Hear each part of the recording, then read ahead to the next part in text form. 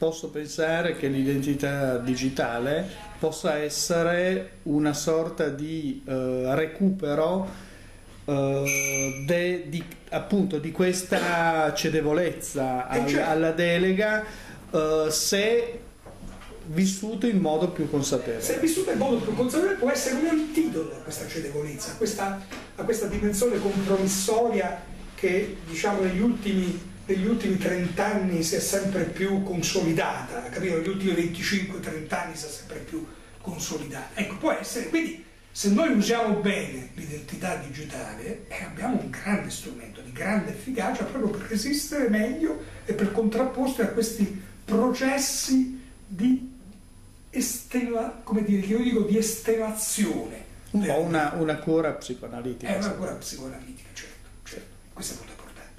Quindi finire, concludere questa conversazione con il motto di Socrate, cioè conosci te stesso utilizzando l'identità digitale. Certo, conosci te stesso, anzi io credo che l'identità digitale sia proprio, come dire, la, la sublime eh, forma, dimensione contemporanea del conosci te stesso, eh, diciamo, del grande motto, del, del più grande filosofo del passato, dell'antichità, che, che rappresenta la filosofia come tale, il simbolo, la grande icona della filosofia, di ciò che la filosofia non può non rappresentare. Ecco, quindi l'identità di- di- digitale, diciamo, se ben utilizzata, eh, se ben contestualizzata, va proprio in questa direzione. Dobbiamo sapercene servire ed è un grande antico proprio contro la cura, contro, la- contro il disputismo dolce, contro questa dimensione compromissoria della nostra dimensione compromissoria. Dobbiamo diventare più come dire, dobbiamo diventare più protagonisti della libertà, dobbiamo smuoverci, no? dobbiamo recuperare questa dimensione che invece la convivenza con la democrazia rappresentativa così consolidata ci perdere, ci sta facendo perdere per sempre. E in questo l'identità digitale è un, grandissimo aiuto.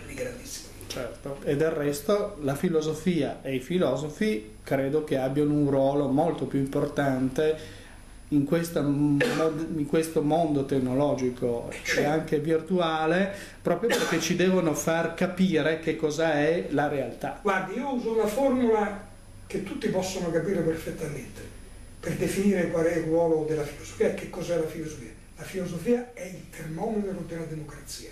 Se non c'è filosofia in una società, significa che il grado di questa società, in, questa società la democrazia è ormai finita. Se il ruolo della filosofia è alto in una società, significa che questa società vive ancora in una democrazia che è diciamo non debole ma forte. Cioè, vede l'espressione la filosofia come termometro nella sua semplicità, no? nella sua grevità, apparente grevità, ci dà proprio la misura del rilievo della filosofia, che, di cui noi abbiamo bisogno, eh, se- abbiamo sempre di, di cui abbiamo sempre più bisogno proprio per i processi degenerativi che cercavo di, di- di chiarire insomma, nella, nella discussione che abbiamo fatto. Bene, io ringrazio molto il professor Matassi, grazie e lei. lo seguiremo su Fatto Quotidiano, su altre pubblicazioni e anche in rete ovviamente. Grazie, mille. grazie, grazie.